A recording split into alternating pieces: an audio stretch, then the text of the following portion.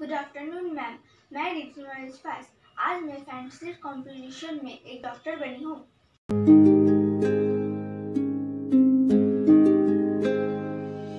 नन्ही सी हँसी, भोली सी खुशी, फूलों से वो बाहें भूल गए। जब देश ने दी आवाज़, हमें हम घर की राहें भूल गए।